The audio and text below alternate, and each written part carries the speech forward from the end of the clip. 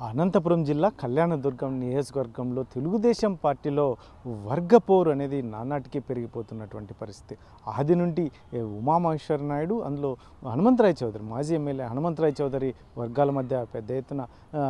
గొడవలు జరుగుతున్నటువంటి నేపథ్యంలో నిన్నటి రోజు ఈ ఉమామహేశ్వర నాయుడు ఆఫీసు ముందర ఉన్నటువంటి ఫ్లెక్సీలను చించి వేశారని చెప్పేసి ఏకంగా పోలీస్ స్టేషన్కి వెళ్ళి కంప్లైంట్ చేసుకున్నటువంటి పరిస్థితి. అయితే గతం నుంచి ఎవరైతే ఉన్నారో గత ఎన్నికల్లో పోటీ చేసినటువంటి మాదినేని ఉమామహేశ్వర నాయుడు అందులో మాజీ ఎమ్మెల్యే ఉన్న హనుమంతయ్య చౌదరి వర్గాల మధ్య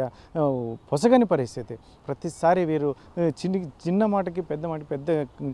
ముఖ్యంగా టీడీపీ కార్యక్రమాలకు సైతం గొడవలు తిరుగుతున్న దిగుతున్నటువంటి పరిస్థితి. ఈ మధ్య కాలంలో బస్సు యాత్ర జరిగిన నేపథ్యంలో కూడా ఒకరిపై ఒకరు ఒక వర్గం మీద ఒకరు పైచేయి సాధించాలనే ఉద్దేశంతో నినాదాలు కూడా ఇచ్చుకున్నటువంటి పరిస్థితి. హైకమాండ్ కావచ్చు ఇట్లా జిల్లా నాయకులు కావచ్చు వీరికి సర్ది చెప్పినప్పటికీ ఏమాత్రం ఒక- అసలు ఇక్కడ సా సాంత్వన ఒకవైపు ఎందుకంటే తెలుగుదేశం పార్టీ క్యాడర్ బలంగా ఉన్నటువంటి కళ్యాణ్ దుర్గం నియోజకవర్గంలో ఇలా నాయకులు ఒకరి మీద ఒకరు దుమ్మెత్తి పోసుకుంటున్నటువంటి నేపథ్యంలో మరి రేపు రాబోయే ఎన్నికల్లో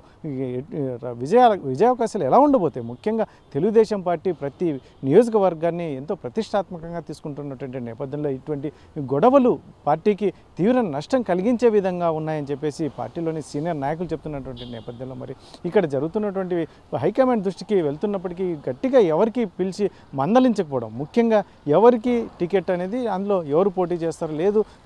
వీరిద్దరు కాకుండా మరొక వ్యక్తి వస్తారా అనేది కూడా ఎటు తేల్చుకోకుండా ఉన్నటువంటి పరిస్థితిలో కూడా క్యాడర్ మొత్తం గందరగోళ పరిస్థితిలో ఉందని చెప్పి కళ్యాణ్ దుర్గ నియోజకవర్గ టీడీపీ క్యాడర్ ఒకవైపు చెప్తున్నటువంటి నేపథ్యంలో ఏకంగా పోలీస్ స్టేషన్కి వెళ్ళి కంప్లైంట్ చేసుకోవడం ఎంతవరకు సబబు ఇది ఎంత రాబోయే ఎన్నికల్లో ఖచ్చితంగా ప్రభావం చూపుతుందని చెప్పేసి చాలామంది ఆ, అభిప్రాయపడుతున్నటువంటి నేపథ్యంలో మరి ఇప్పటికైనా దీన్ని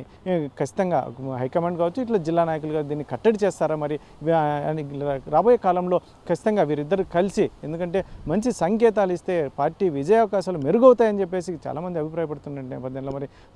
నాయకులు అధినాయకులు ఏం చేస్తారు అనేది వేచి చూడాల్సిన అంశం